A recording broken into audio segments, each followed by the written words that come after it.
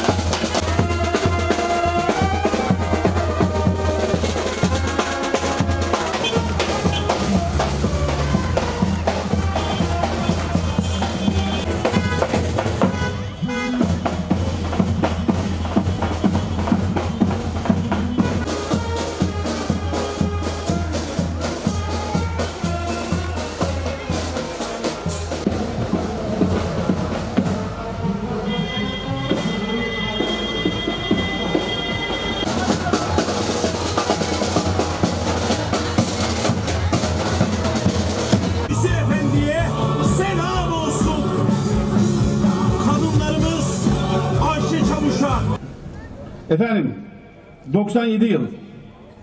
Meşalenin yakıldığı günden bugüne 97 yıl. Kolay değil. Bizler 58 yaşındayız. Bizden 31 yıl önce burada büyük mücadele verilmiş. Bu ülkede gerçekten verilen mücadelenin hesabını bizim gençlerimiz gelecekte umut olarak ortaya koyacakları mücadeleyle verecekler.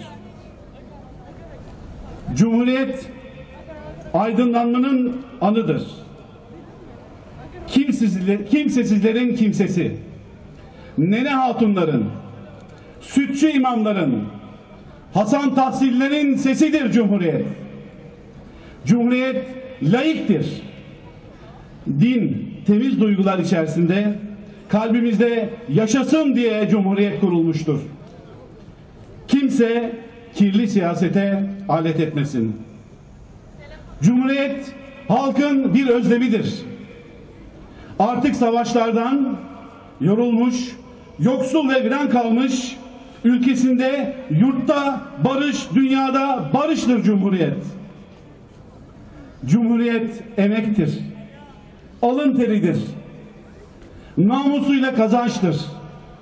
Hiç kimseye el açmadan bu yüzden 97 yıldır bu ülkede fabrikalar kurulmuş. Ülkemizin dört yanında büyük mücadele verilmiş. Cumhuriyet demir ağlardır. Bütün ülkenin kalkınmasıdır Cumhuriyet. Cumhuriyet bağımsız bir ülkedir. Devrimlerdir. Atatürk'ün gösterdiği yolda ilerleyen Cumhuriyet ilimdir, fendir.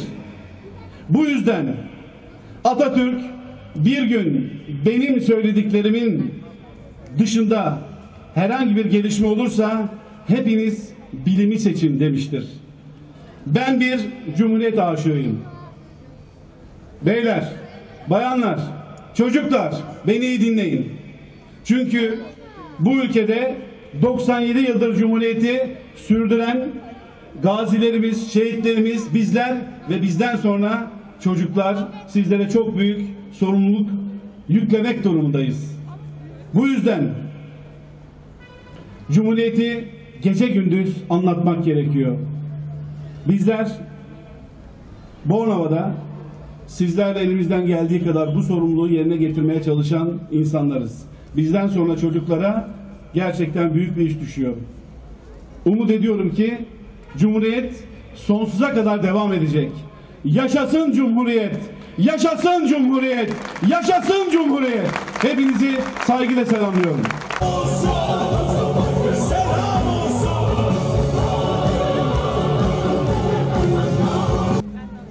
Nereden geldiğimizin hiç önemi yok.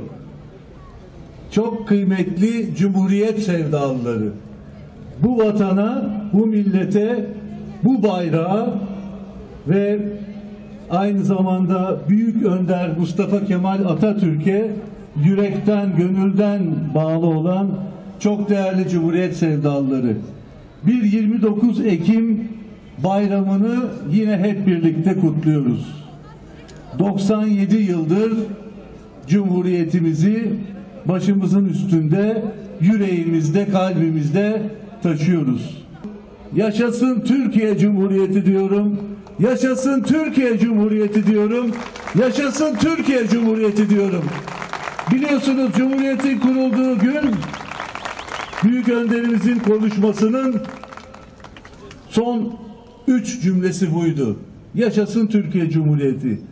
Türkiye Cumhuriyeti ilelebet payidar kalacaktır. Onu payidar kılacak olan da bizleriz, sizlersiniz. Atatürk'ün bu cumhuriyeti emanet ettiği Türk gençliğidir. kutluyoruz.